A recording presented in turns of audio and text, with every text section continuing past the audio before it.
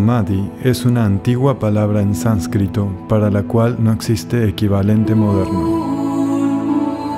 De allí que sea un desafío fundamental realizar una película acerca de Samadhi. Samadhi apunta a algo que no se puede transmitir al nivel de la mente.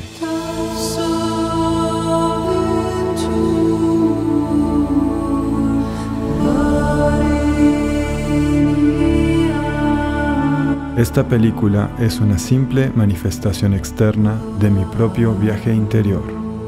La intención no es enseñarte sobre Samadhi o proveer información para tu mente, pero te inspirará directamente a descubrir tu verdadera naturaleza.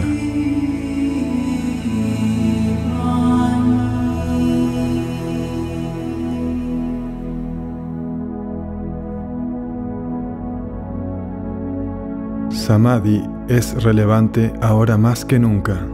Nos encontramos en un momento de la historia en el que no solo hemos olvidado Samadhi, sino que también hemos olvidado lo que se nos olvidó.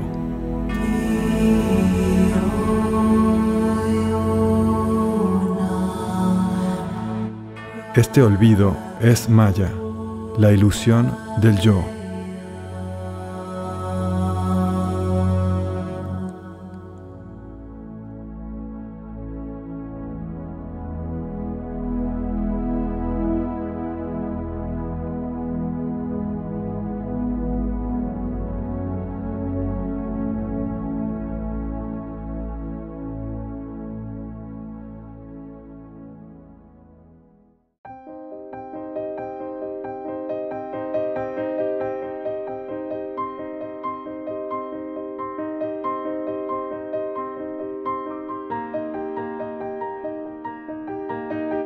Como seres humanos, la mayoría de nosotros vivimos inmersos en nuestra vida cotidiana, con una mínima idea de quiénes somos, por qué estamos aquí o a dónde vamos. La mayoría de nosotros no hemos descubierto nuestro verdadero ser, el alma o lo que el Buda llamó anatta, aquello que está más allá del nombre y de la forma, más allá del pensamiento. Como resultado, creemos que somos estos cuerpos limitados. Vivimos con el miedo, ya sea consciente o inconsciente, de que la estructura limitada del yo con la que estamos identificados morirá.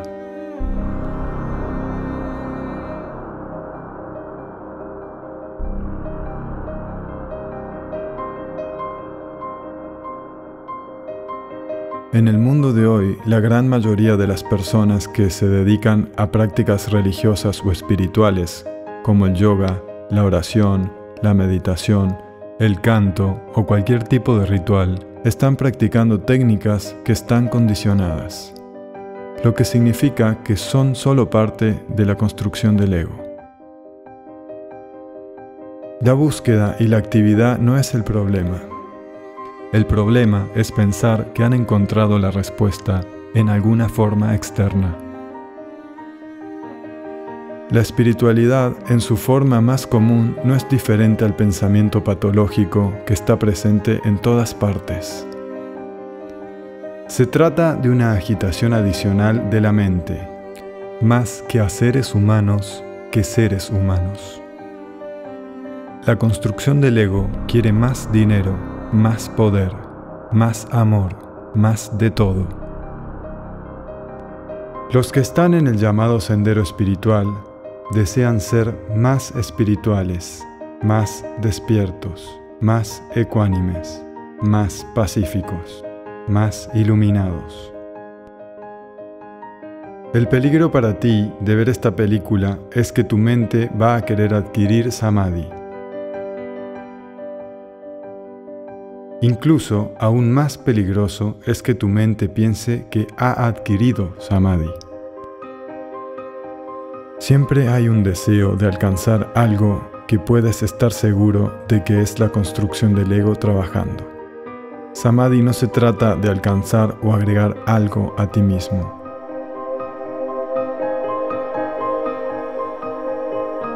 Comprender Samadhi es aprender a morir antes de morir. La vida y la muerte son como el yin y el yang, un continuo inseparable, desplegándose sin fin, sin principio ni final.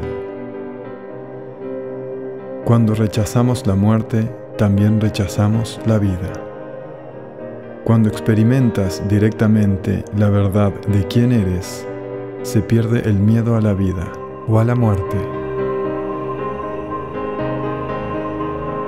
Se nos dice quiénes somos por nuestra sociedad y nuestra cultura, y al mismo tiempo somos esclavos del profundo inconsciente, de anhelos y aversiones biológicas que gobiernan nuestras elecciones. La construcción del ego no es nada más que el impulso a repetir. Es simplemente el camino que la energía tomó una vez y la tendencia de esta energía para tomar este camino de nuevo, sin importar si es positivo o negativo para el organismo. Hay interminables niveles de la memoria o de la mente, espirales dentro de espirales. Cuando tu conciencia se identifica con esta mente o con la construcción del ego, te ata al condicionamiento social, a lo que se podría llamar la Matrix.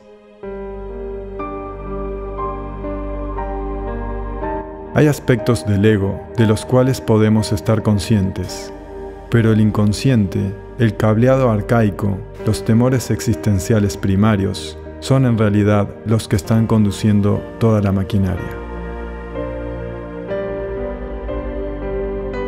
Un sinfín de patrones de aferramiento hacia el placer y la evitación del dolor que se subliman en conductas patológicas. Nuestro trabajo,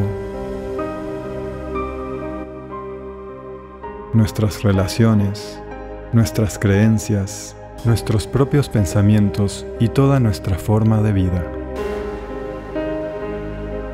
Al igual que el ganado, la mayoría de los seres humanos viven y mueren en subyugación pasiva, alimentando con sus vidas la Matrix.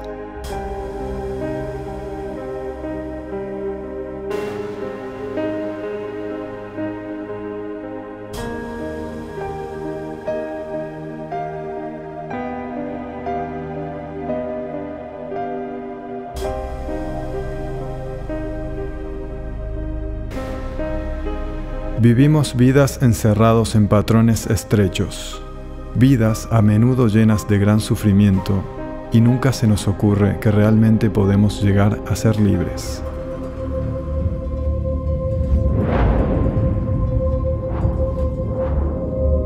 Es posible dejar de lado la vida que hemos heredado del pasado para vivir la que está esperando salir a través del mundo interior.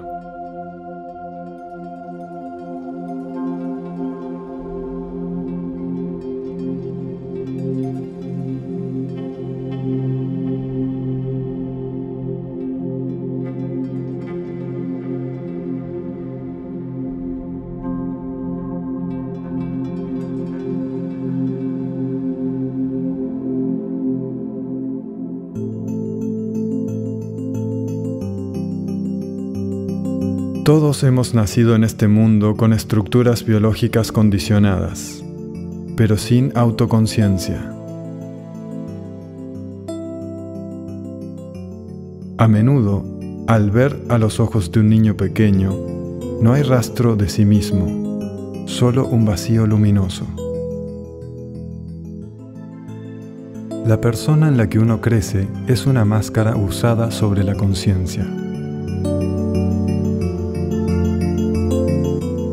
Shakespeare dijo, Todo el mundo es un escenario y todos los hombres y mujeres meros actores.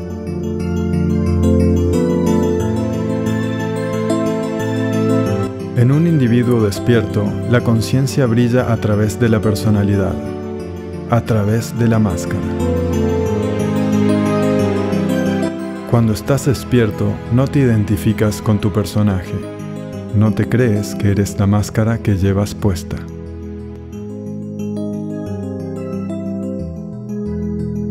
Pero tampoco renuncias a jugar un papel.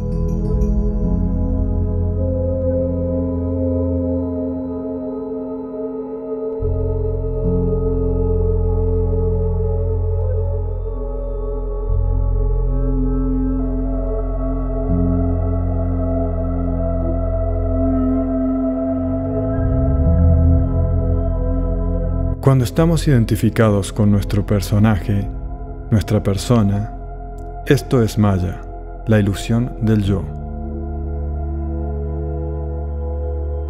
Samadhi es despertar del sueño del personaje que interpretas en la vida.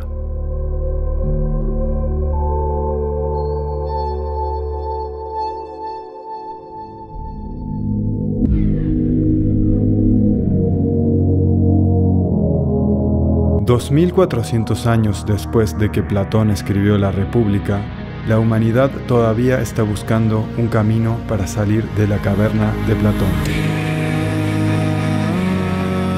De hecho, podemos estar más atrapados por las ilusiones que nunca.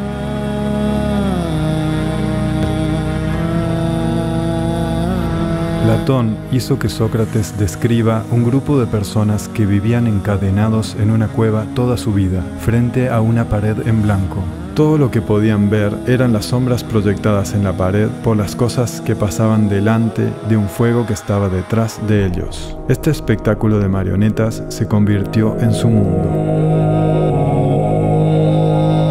Según Sócrates, las sombras eran lo más cercano a la realidad que los prisioneros podrían alguna vez percibir como real. Incluso después de ser informados sobre el mundo exterior, continuaron creyendo que las sombras eran todo lo que existía. Incluso si sospechaban que había algo más, no estaban dispuestos a dejar lo que les era conocido.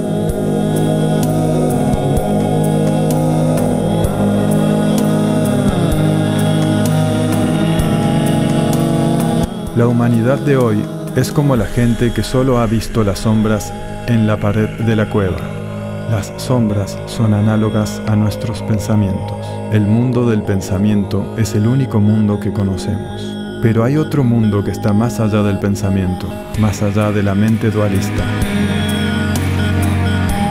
¿Estás dispuesto a dejar la cueva, a dejar todo lo que has conocido para descubrir la verdad de quién eres?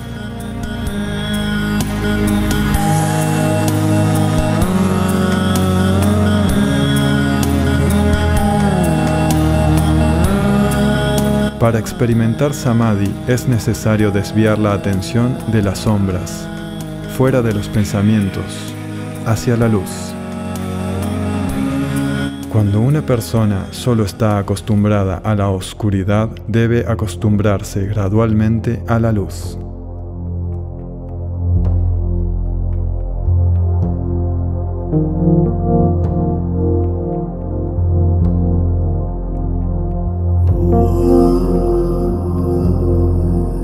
Al igual que aclimatarse a cualquier nuevo paradigma, se necesita tiempo y esfuerzo, y voluntad para explorar lo nuevo, así como soltar lo viejo.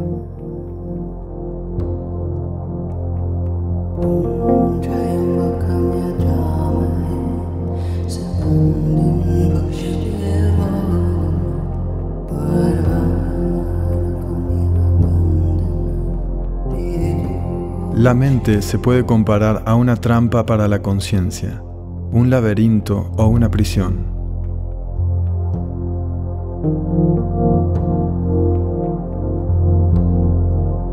No es que estás en prisión, eres la prisión.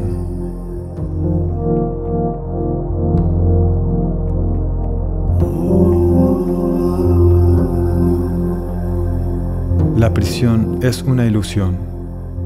Si estás identificado con un yo ilusorio, entonces estás dormido.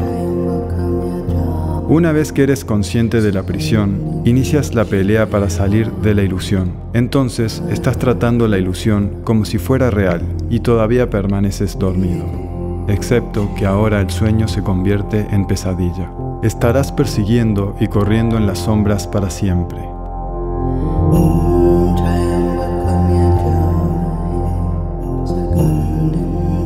Samadhi es el despertar del sueño del yo separado o de la construcción egoica.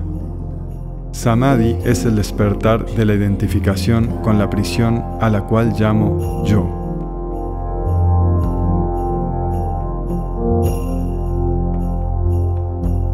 Nunca puedes ser realmente libre porque donde quiera que vayas, tu prisión está ahí. El despertar no se trata de deshacerse de la mente o de la Matrix, sino que cuando no estás identificado con ella, entonces puedes experimentar el juego de la vida con mayor plenitud, disfrutando del espectáculo como es, sin miedo o deseo. En las enseñanzas antiguas, esto fue llamado el juego divino de Leila, el juego de jugar en dualidad.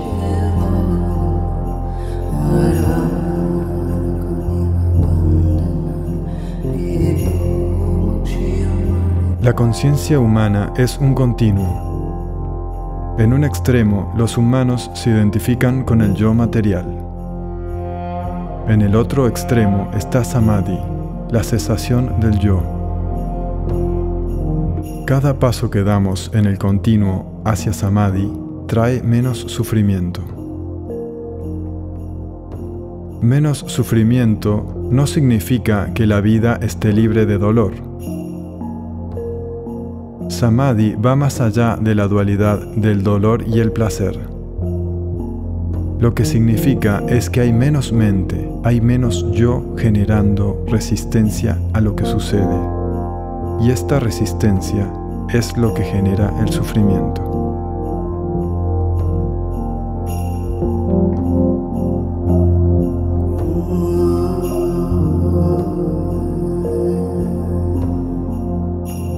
Concebir samadhi incluso una vez permite ver lo que está al otro extremo del continuo, ver que hay algo más que el mundo material y el interés propio. Cuando hay una cesación real de la estructura del yo, en samadhi no hay pensamiento egoico, no hay yo, no hay dualidad, aunque todavía existe lo que soy, anatta o la ausencia del yo. En ese vacío es el amanecer del prajna o la sabiduría. La comprensión de que el yo inmanente está más allá del juego de la dualidad, más allá de todo el continuo. El yo inmanente es eterno, inmutable, siempre ahora. La iluminación es la fusión de la espiral primordial el siempre cambiante mundo manifestado, o el loto en el que el tiempo se despliega con tu ser eterno. Tu cableado interior crece como una flor desplegándose eternamente a medida que se desidentifica con el yo, convirtiéndose en un puente viviente entre el mundo del tiempo y el eterno.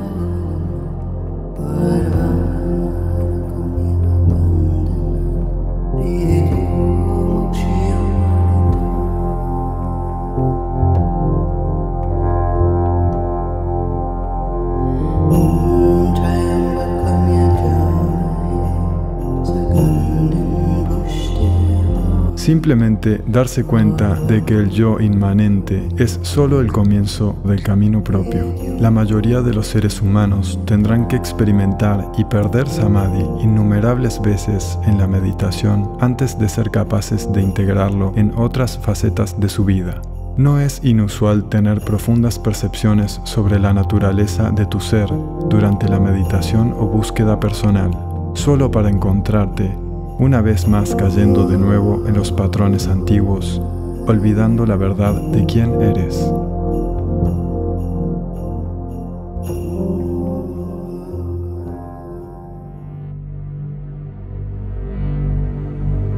Para llevar la quietud o vacío a cada faceta de la vida, a cada faceta de uno mismo, debemos ser ese vacío bailando como todas las cosas.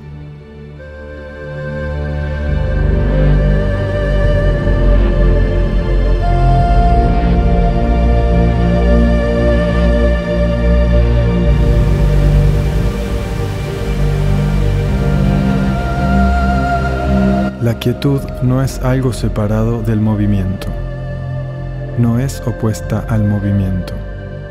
En Samadhi se reconoce a la quietud como idéntica al movimiento y a la forma como idéntica al vacío. Esto no tiene sentido para la mente, porque en la mente está el surgimiento de la dualidad.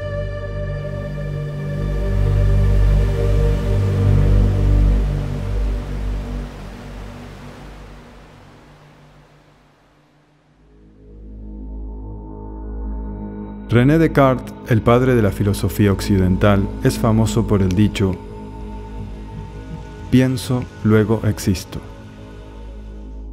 Ninguna otra frase encapsula más claramente la caída de la civilización y la identificación total con las sombras en la pared de la cueva.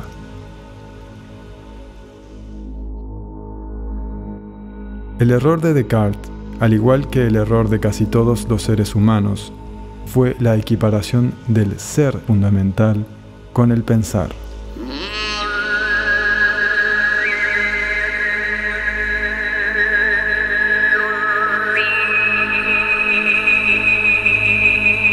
Al comienzo de su tratado más famoso, Descartes escribió que casi todo puede ser puesto en duda. Se puede dudar de los sentidos e incluso de los pensamientos.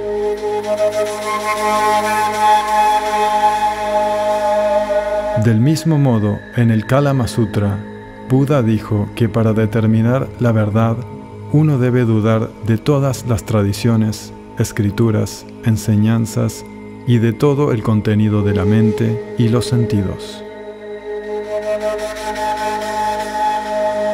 Ambos hombres comenzaron con gran escepticismo, pero la diferencia fue que Descartes dejó de buscar en el nivel del pensamiento, mientras Buda fue más profundo penetró más allá de los niveles profundos de la mente. Tal vez si Descartes hubiera ido más allá de su mente pensante, habría descubierto su verdadera naturaleza y los niveles de conciencia en Occidente serían muy diferentes hoy. En cambio, Descartes describió la posibilidad de un demonio maligno que podría estar manteniéndonos bajo un velo de ilusión. Descartes no reconoció a este demonio maligno por lo que era.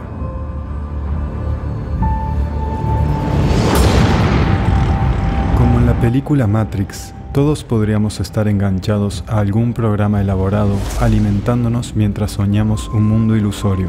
En la película, los seres humanos viven sus vidas en la Matrix, mientras que en otro nivel no son más que las baterías alimentando con su fuerza vital a las máquinas que utilizan su energía para sus propios planes.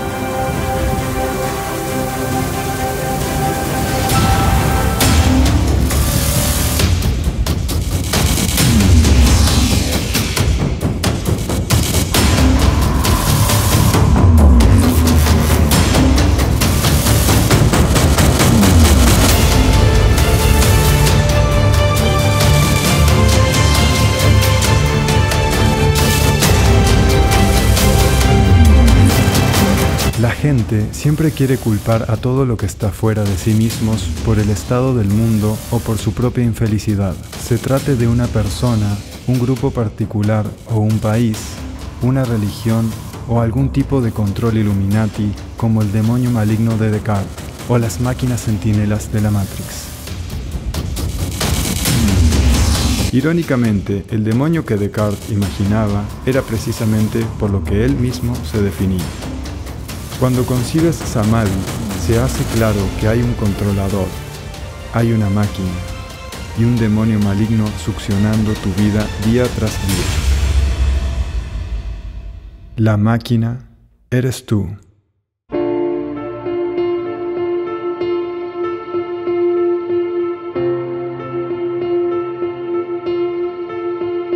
Tu estructura del yo se compone de muchos pequeños subprogramas condicionados o pequeños patrones. Un pequeño jefe que anhela comida, otro anhela dinero, otro estatus, posición, poder, sexo, intimidad. Otro quiere conciencia o atención de parte de otros. Los deseos son literalmente infinitos y pueden nunca estar satisfechos. Utilizamos gran parte de nuestro tiempo y energía decorando nuestras prisiones. sucumbiendo a las presiones para mejorar nuestras máscaras y alimentar los pequeños jefes, haciéndolos más poderosos. Al igual que los drogadictos, cuanto más tratamos de satisfacer los pequeños jefes, más terminamos anhelando.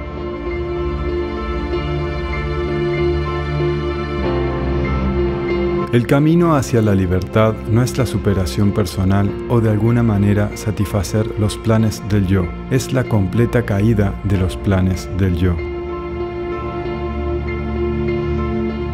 Algunas personas temen que despertar su verdadera naturaleza significará que pierdan su individualidad y el disfrute de la vida.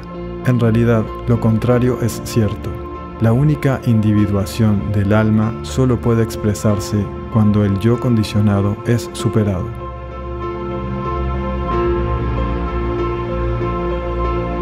Debido a que nos quedamos dormidos en la Matrix, la mayoría de nosotros nunca va a descubrir lo que el alma realmente quiere expresar.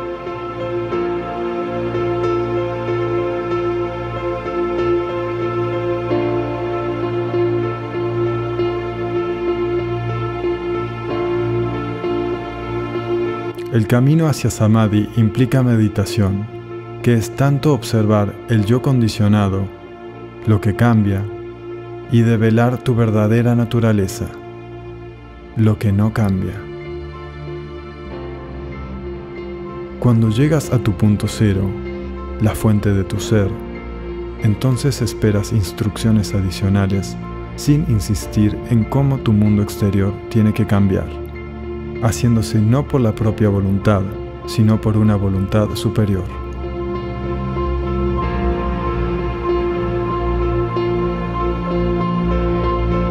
Si la mente solo trata de cambiar el mundo exterior para ajustarlo a una idea de lo que piensa que debe ser, es como tratar de cambiar la imagen de un espejo mediante la manipulación del reflejo.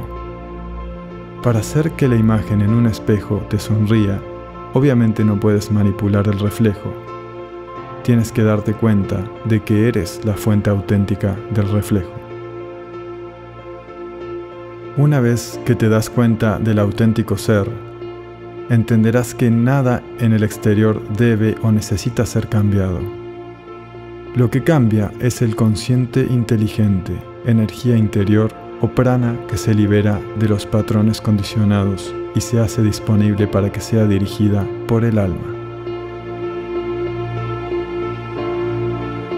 Solo puedes tomar conciencia del propósito del alma cuando eres capaz de ver al yo condicionado y sus interminables búsquedas y dejarlas ir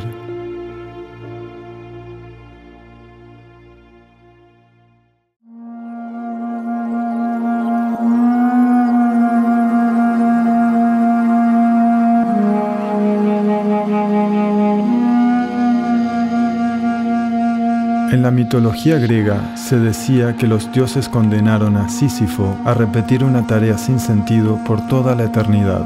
Su tarea era empujar sin cesar una roca a la cima de una montaña solo para luego rodarla hacia abajo de nuevo.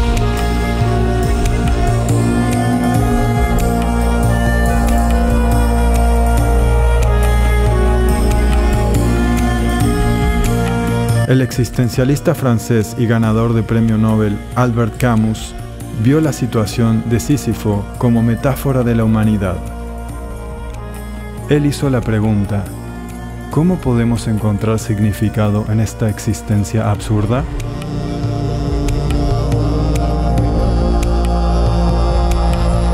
Como humanos estamos trabajando interminablemente, construyendo un mañana que nunca llegará y entonces morimos.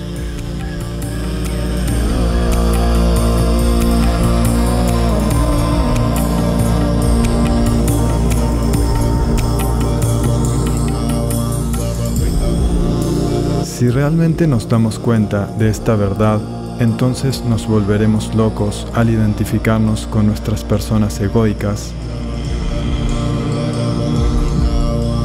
o despertaremos y seremos libres.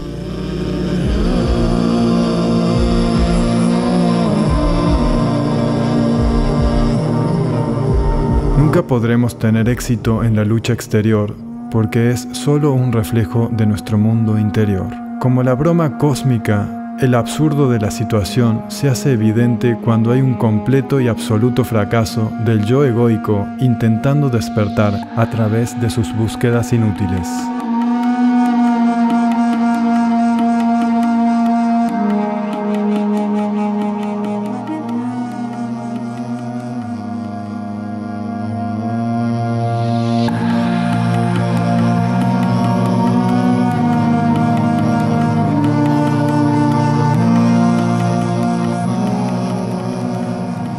Zen hay un dicho, antes de la iluminación, cortar leña, acarrear agua.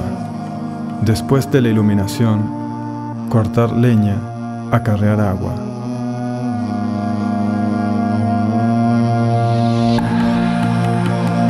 Antes de la iluminación hay que rodar el balón hasta la colina.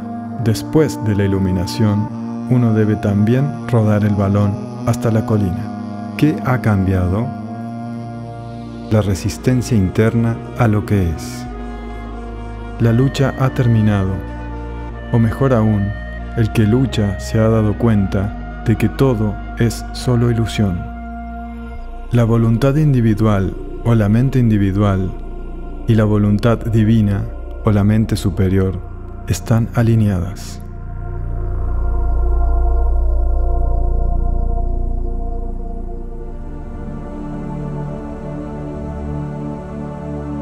Samadhi es fundamentalmente el término de toda resistencia interna a todos los fenómenos cambiantes, sin excepción. El que es capaz de alcanzar la paz interior, independientemente de las circunstancias, ha alcanzado verdadero Samadhi. Dejas caer la resistencia no porque condones una cosa u otra, sino para que tu libertad interior no dependa de lo externo. Es importante señalar que cuando aceptamos la realidad tal como es, no significa necesariamente que dejemos de tomar acción en el mundo o nos convirtamos en meditadores pacifistas. En realidad, lo contrario puede ser cierto. Cuando somos libres de actuar sin ser impulsados por motivos inconscientes, entonces es posible actuar alineados con el Tao, con toda la fuerza de nuestra energía interior apoyándonos.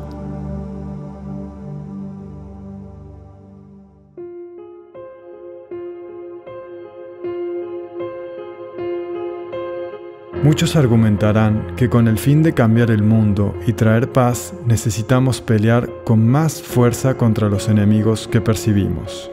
Pelear por la paz es como gritar por lograr el silencio, solo crea más de lo que no se desea. En estos días hay guerra en contra de todo, guerra contra el terrorismo, guerra contra la enfermedad, guerra contra el hambre, Cada guerra es en realidad una guerra contra nosotros mismos.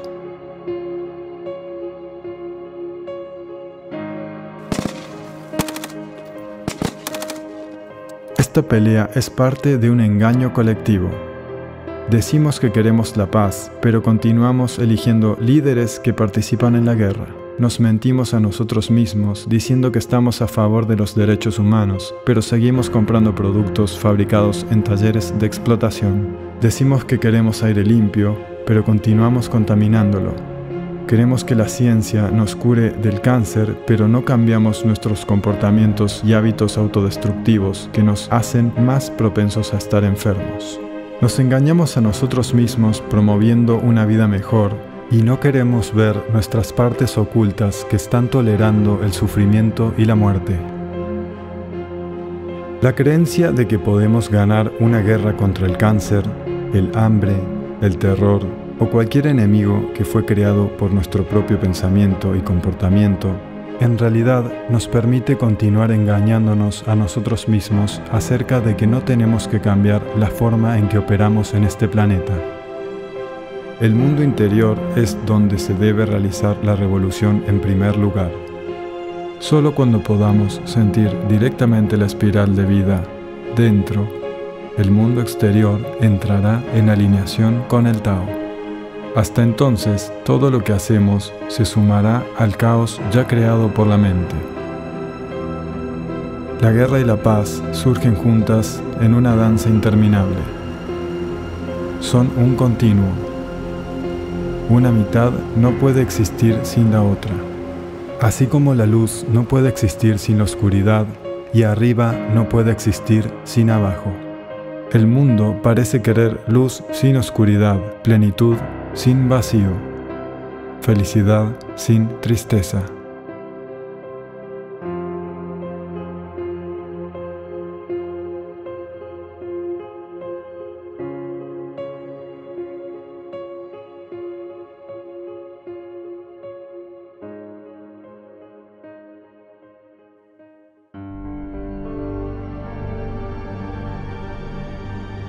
Cuanto más se involucra la mente, más se fragmenta el mundo. Cada solución que viene de la mente egoica es impulsada por la idea que hay un problema, y la solución se convierte en un problema aún mayor de lo que estaba tratándose de resolver. Lo que resistes persiste.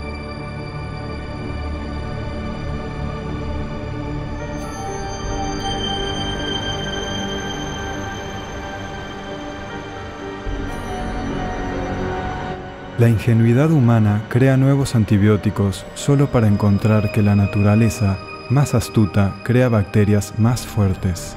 A pesar de nuestros mejores esfuerzos en la lucha en curso, la prevalencia del cáncer está aumentando. El número de personas hambrientas en el mundo crece de manera constante. El número de ataques terroristas en el mundo continúa aumentando.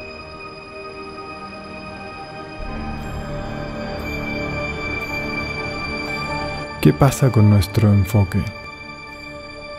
Al igual que el aprendiz del hechicero del poema de Goethe, nos hemos apoderado de un gran poder, pero no tenemos la sabiduría para hacer uso correcto de él. El problema es que no entendemos la herramienta que estamos utilizando, no entendemos la mente humana, su rol y su propósito.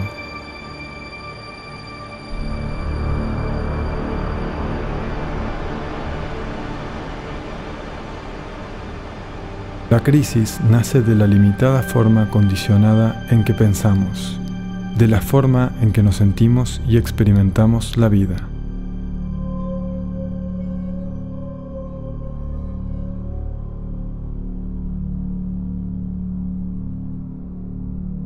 Nuestro racionalismo nos ha robado nuestra capacidad de reconocer y experimentar la sabiduría de muchas culturas antiguas.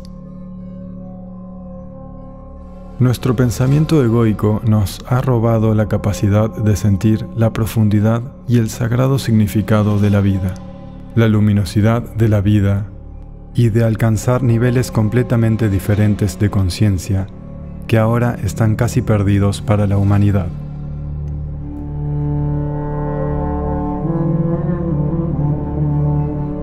En la antigua tradición egipcia, neters eran formas arquetípicas cuyas características podrían ser incorporadas por aquellos que purificaban cuerpos físicos y espirituales, de tal manera que eran aptos para albergar las conciencias superiores.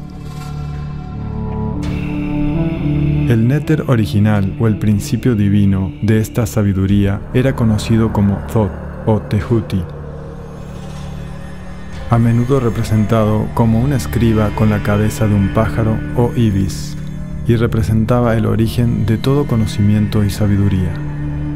Thought podría ser descrito como el principio cósmico de pensar o de pensamiento.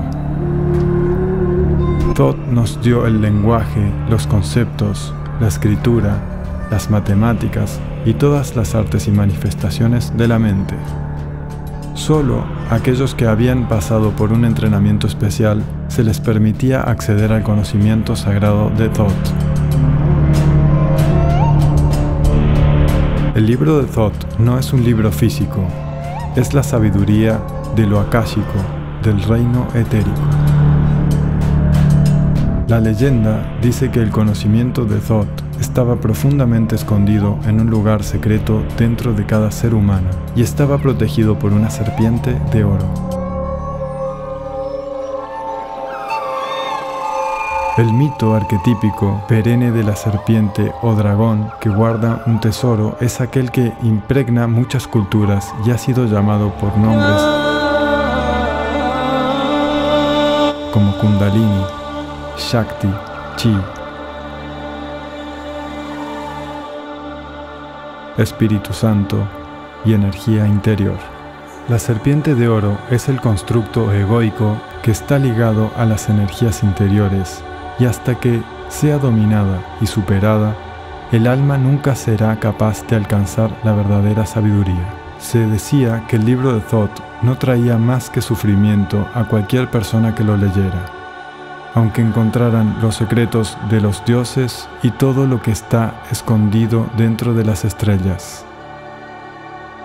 Lo que debe entenderse es que el libro trae sufrimiento a cualquier persona que lo lea, a cualquier ego que intente controlarlo. En la tradición egipcia, el despertar de la conciencia fue representado por Osiris. Sin el despertar de esta conciencia, cualquier conocimiento o entendimiento obtenido por el ser limitado será peligroso si está desconectado de la sabiduría superior.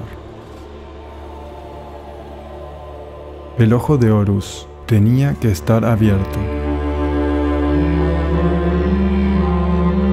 El significado esotérico que encontramos aquí es similar a la historia más conocida como la caída del jardín del Edén. El libro de Thoth se compara al libro del conocimiento del bien y el mal, del cuyo fruto Adán y Eva fueron tentados a comer.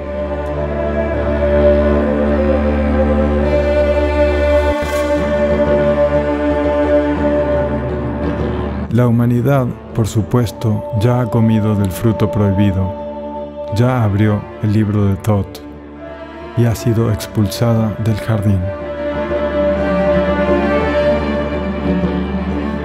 La serpiente es una metáfora de la espiral primordial que se extiende desde el microcosmos hasta el macrocosmos. Hoy la serpiente está viviendo en ti. Es la mente egoica expresada como el mundo manifestado Nunca hemos tenido acceso a tanto conocimiento. Hemos profundizado en el mundo material, incluso hasta encontrar la llamada partícula de Dios, pero nunca hemos estado más limitados, más ignorantes de lo que somos, y no entendemos el mecanismo por el cual creamos el sufrimiento.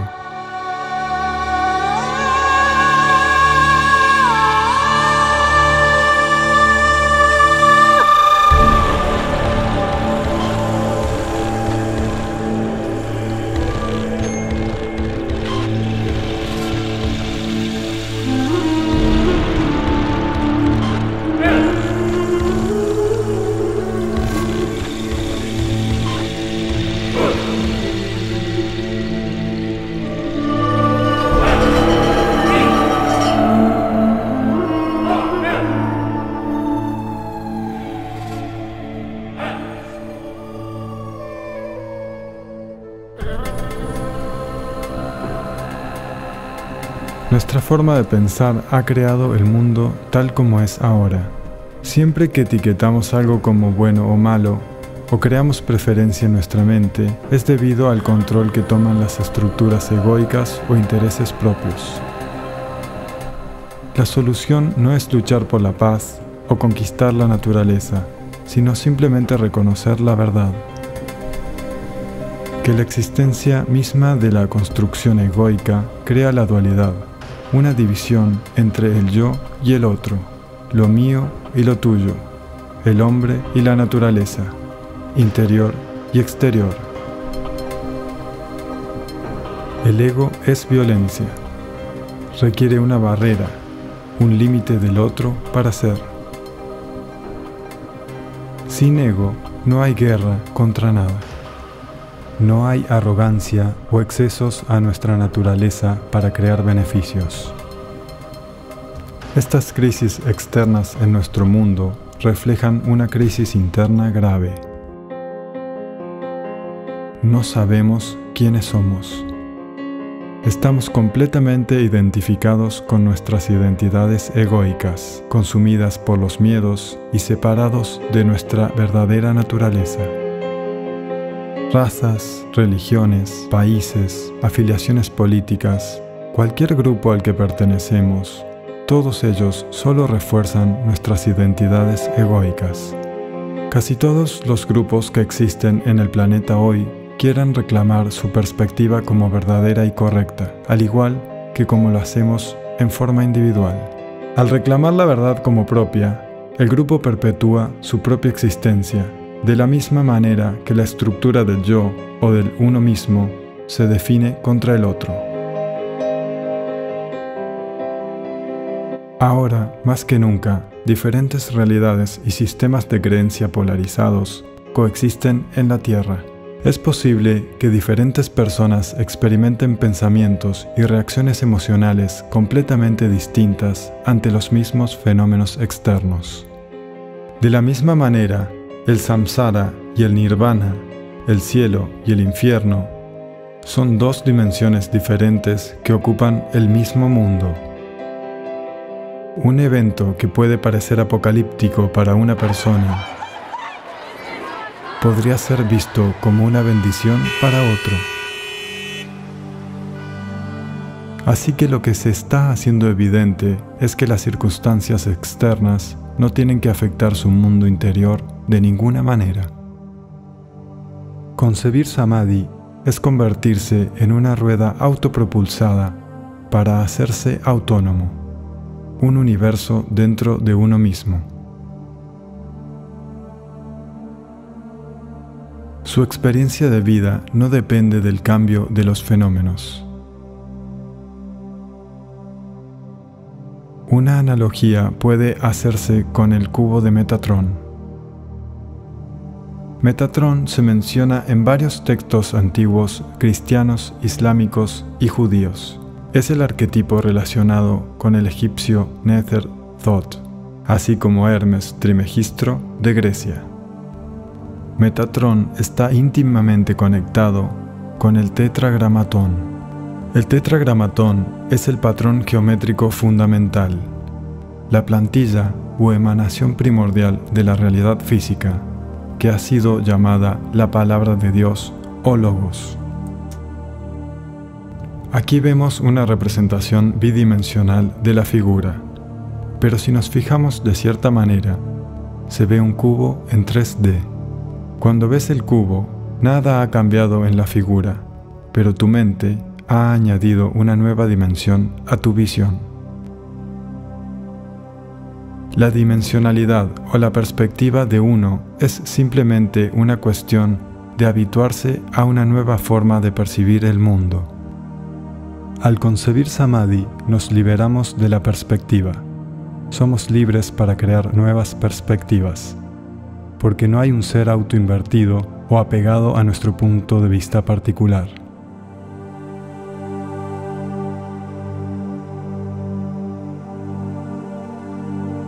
Las mentes más grandes de la historia humana han señalado a menudo niveles del pensamiento más allá de la estructura limitada de uno mismo.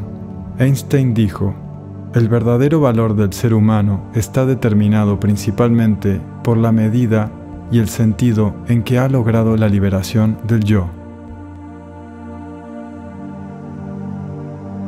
Entonces, no es que el pensamiento y la existencia del mismo sea malo, el pensamiento es una maravillosa herramienta cuando la mente está al servicio del corazón. En Vedanta se dice que la mente es buena sirviente, pero mala maestra.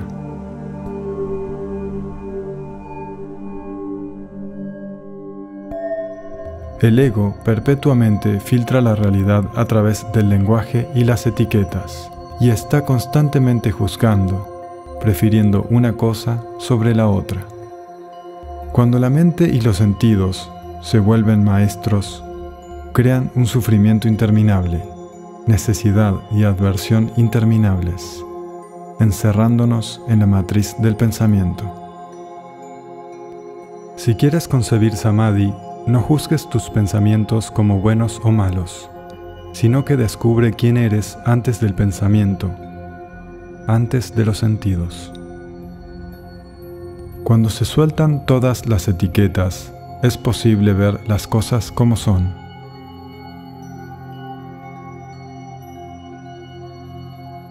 En el momento en que se le dice a un niño lo que es un pájaro, si cree lo que le dicen, nunca volverá a ver un pájaro. Solo verán sus pensamientos.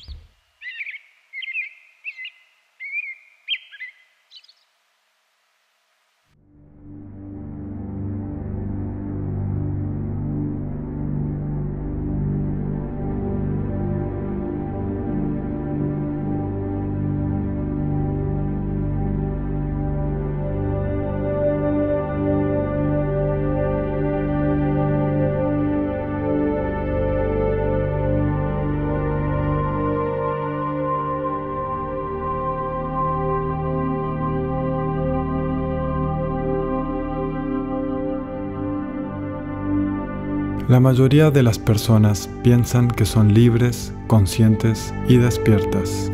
Si crees que ya estás despierto, ¿por qué harías el difícil trabajo de conseguir lo que ya tienes? Antes de que sea posible despertar, es necesario aceptar que estás dormido, viviendo en la Matrix. Examina tu vida honestamente, sin mentirte a ti mismo. ¿Eres capaz de detener tus patrones robóticos de una vida repetitiva si quieres? ¿Puedes dejar de buscar placer y de evitar el dolor? ¿Eres adicto a ciertos alimentos, actividades o pasatiempos? ¿Estás constantemente juzgando, culpando, criticándote a ti mismo y a los demás? ¿Tu mente busca incesantemente estímulos? ¿O está completamente satisfecha solo estando en silencio? ¿Reaccionas ante lo que las personas piensan de ti? ¿Estás buscando aprobación o refuerzo positivo? ¿De alguna manera saboteas las situaciones en tu vida? La mayoría de la gente experimentará sus vidas de la misma manera hoy como lo harán mañana y un año a partir de ahora y dentro de 10 años. Cuando empiezas a observar tu naturaleza de robot, te vuelves más despierto. Comienzas a reconocer la profundidad del problema. Estás completa y totalmente dormido, perdido en un sueño. Como los habitantes de la cueva de Platón, la mayoría de los que oyen esta verdad no estarán dispuestos o serán capaces de cambiar sus vidas porque están atados a sus patrones familiares. Hacemos grandes esfuerzos justificando nuestros patrones, enterrando nuestras cabezas en la arena en lugar de enfrentarnos a la verdad.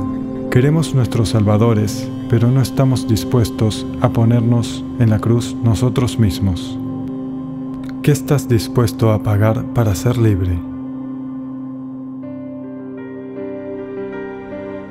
Darte cuenta de que si cambias tu mundo interior, debes estar preparado para cambiar la vida exterior. La vieja estructura y tu identidad vieja deben convertirse en el suelo muerto del cual surge un nuevo crecimiento.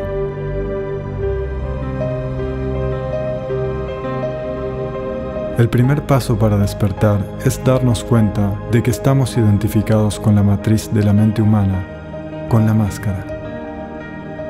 Algo dentro nuestro debe oír esta verdad y ser despertado del sueño. Hay una parte de ti, algo eterno, que siempre ha sabido la verdad.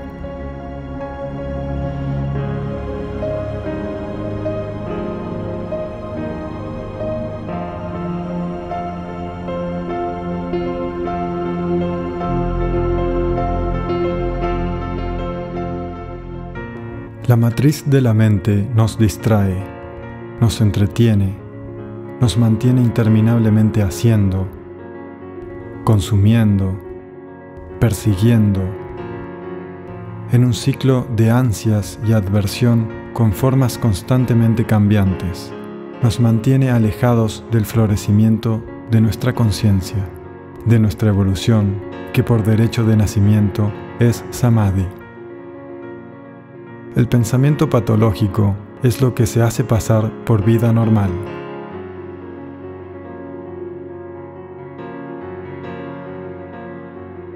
Tu esencia divina se ha esclavizado, identificada con la limitada estructura del yo. La gran sabiduría, la verdad de quién eres, está enterrada en lo más profundo de tu ser.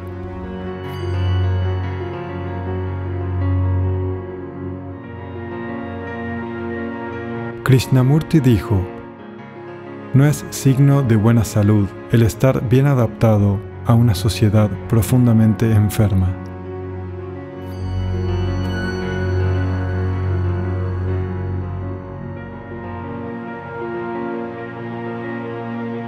La identificación con la mente egoica es la enfermedad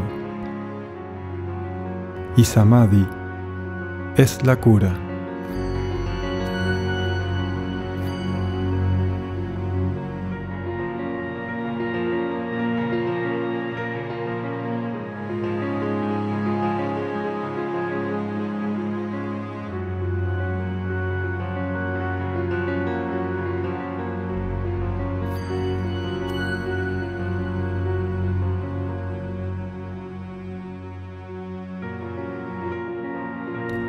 Santos, sabios y seres despiertos a lo largo de la historia han obtenido la sabiduría en el sacrificio de su propio ser.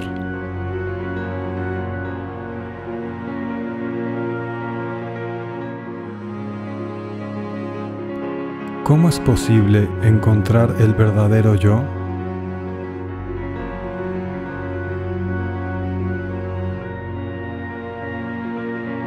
Cuando miramos más allá del velo de Maya y dejamos ir el yo ilusorio, ¿qué queda?